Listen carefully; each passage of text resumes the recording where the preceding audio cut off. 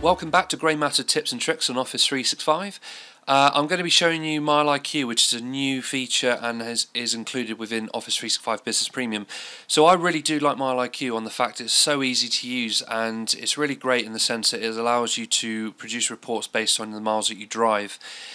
Um, so I've just gone through the application, just make sure everything's in place. I'm going to add my vehicle. I'm going to just check my pence per miles, just make sure it's all correct. Um, so now the next thing to do is to start recording some uh, activity.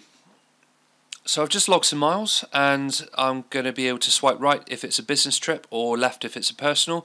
A little bit like Tinder, but uh, it's really, really useful. So we start swiping through and as you can see on the top right, we start to build up our report and our expenses and how much my drives are worth.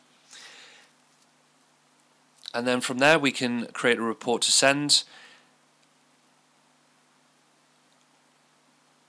and I'm now sent an email with each drive and now I'm able to print off a PDF or an Excel spreadsheet with those drives so I can produce that and start uh, start claiming back on my expenses.